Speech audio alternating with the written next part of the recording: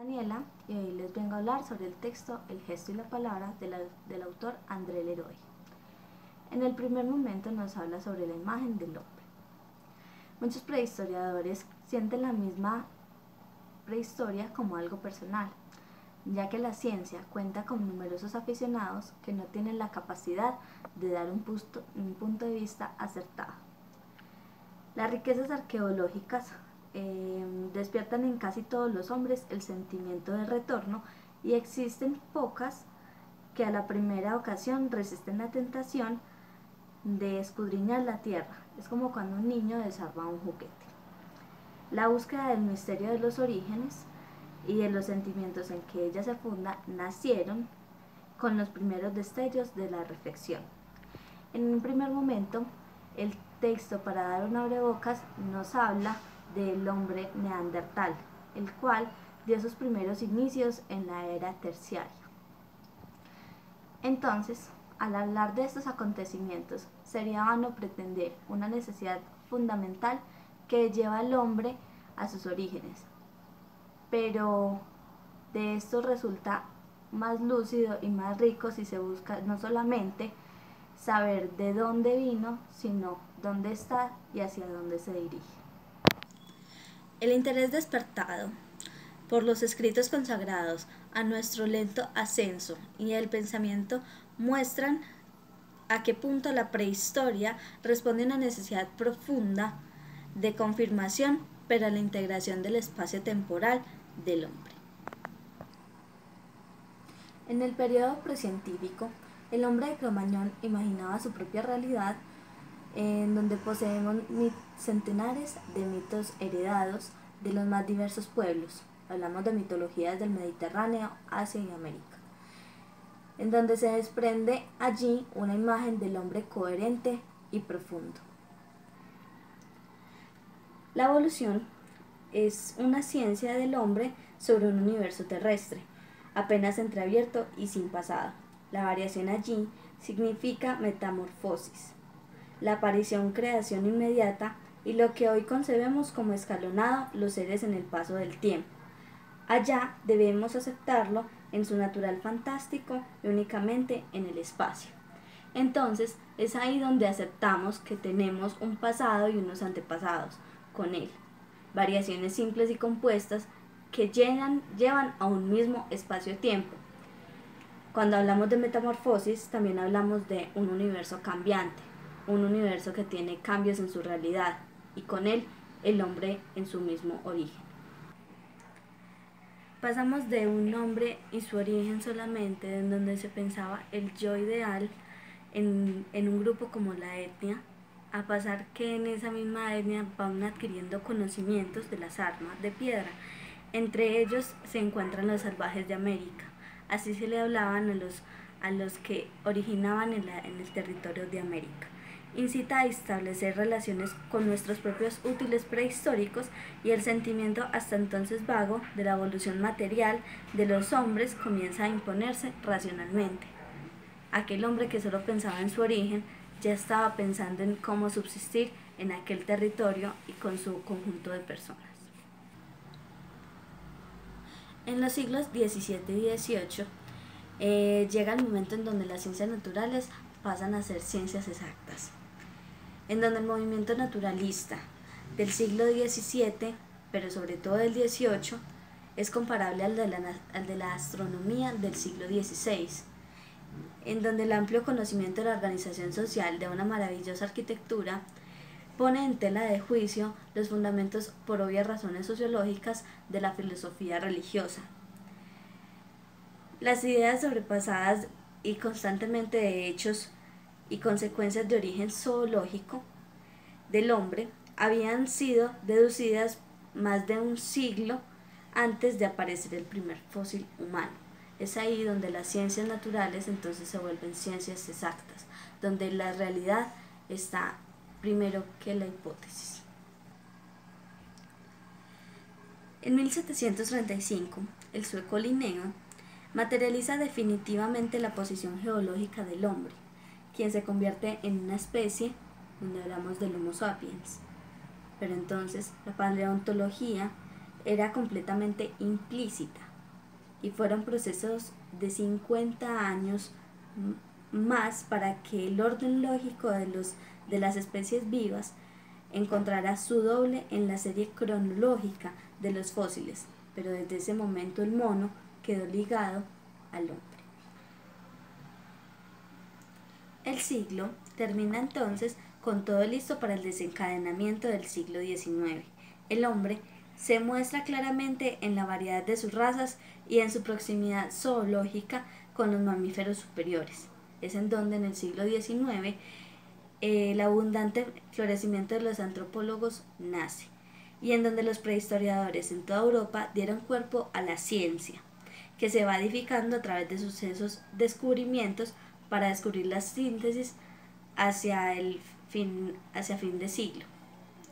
Tomando entonces el evolucionismo de Charles Darwin en la teoría del, del origen de las especies, donde partió como naturalista del siglo XVIII, de las entrañas de la geología estratigráfica, de la paleontología y de la sociología actual, pues en definitiva, consecuencia, culminación de la evolución, el hombre no es comprensible, sino en, tota-, en su totalidad terrestre.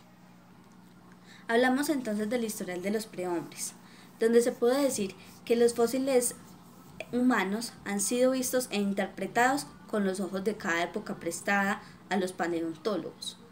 Antes de 1850 los prehistoriadores disponían de elementos técnicos notables.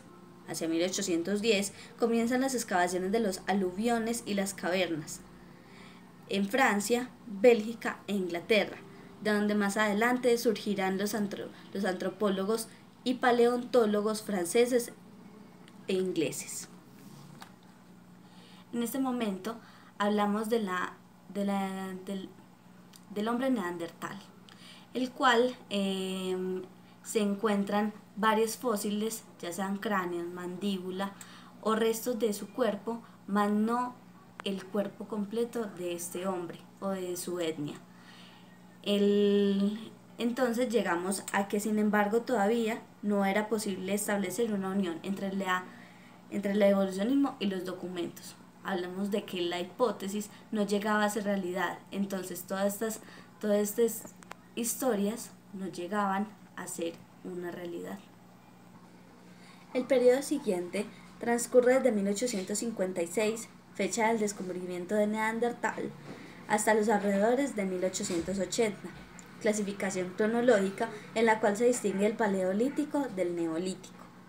Por encima de todo, el mito del antepasado simio ha tomado forma, pues el evolucionismo darwiniano tuvo sobre el pensamiento científico repercusiones mucho más fuertes que las teorías de la marca.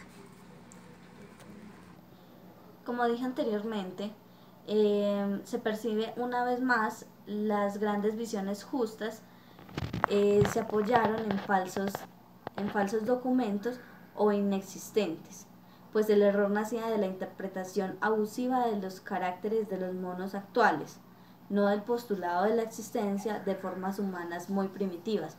Hablamos entonces del hombre neandertal y sus preexistencias. La paleontología se ha empeñado por mucho tiempo aún en el compromiso del antropoide y el mono sapiens. Y hasta la hora actual no solo reinará la imagen del mono en la literatura de la vulgarización, sino hasta en los trabajos de mayor seriedad científica. Será notable en una especie de nostalgia hasta el antepasado primate. En el siglo XX vemos entonces una contradicción total del siglo XIX. En los diez primeros años del siglo XX eh, se hallaron los, los, descubrimientos más de los fósiles primitivos em, que jamás se, haya, se había hecho, tales como la mandíbula de Mouvier, el esqueleto de Chapelos, el esqueleto de, de Mustier, el de la Ferrací, el de la Quina, y el de los Caprina. Salen de la tierra en cadencia extraordinaria. Dice que la imagen del precántropo ya no progresa, entonces es necesario esperar la revolución australopiteca, de estos últimos 20 años para renovar la cuestión del escalón perdido. La paleontología humana no ha exorcizado el hombre mono sino en, en estos últimos años. Ha sido necesario rendirse a la evidencia.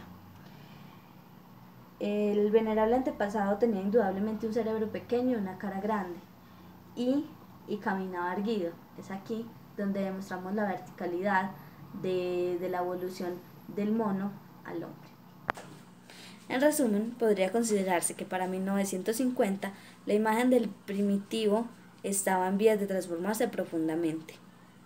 La vieja corriente continúa fluyendo y reconstruyendo los icántropos o de la nueva serie de la de pitecántropos que Java libera a partir de 1854 se inspiran en el viejo esquema del antepasado mono. Entonces, seguimos con los criterios de la humanidad, en el cual nos hacemos una pregunta, o el autor más fácil nos hace una pregunta. ¿Cuál es la imagen que puede uno hacerse que reúna los criterios comunes de la totalidad de los hombres y de sus antepasados? Hay tres momentos. Nos dice la posición vertical, donde todos los fósiles conocidos poseen una posición vertical, donde hay una evolución del hombre. Otros dos criterios son la posición de la cara corta y las manos libres durante la locomoción, donde las proporciones faciales dependen de los caracteres de, las de, los de la dentadura, o sea, de la mandíbula ya encontrada. Hablábamos de esto en el hombre neandertal. Eh, hablamos también de la libertad de la mano, donde implica casi obligatoriamente una actividad de técnica diferente de la de los monos. Los monos evolucionaron sus, sus patas para evolucionar a manos o brazos del hombre.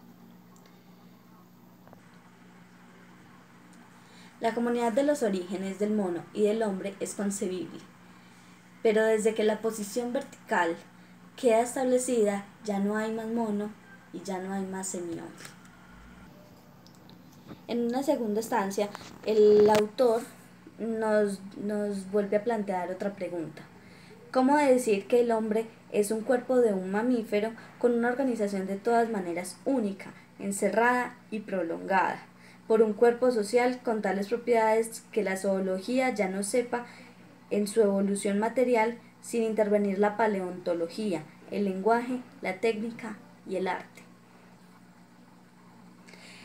Para finalizar, entonces el autor nos plantea una, posible respuesta en cuanto a esa, esa pregunta. El, mito del antepasado mono posee raíces perdidas en la penumbra y la fijación en el siglo XVIII se produjo en el momento en que se desata la fantasía cohorte de demonios peludos y con garfios. Esta imagen, después de todo, no es completamente extraña a la, a la forjada por el paleontólogo.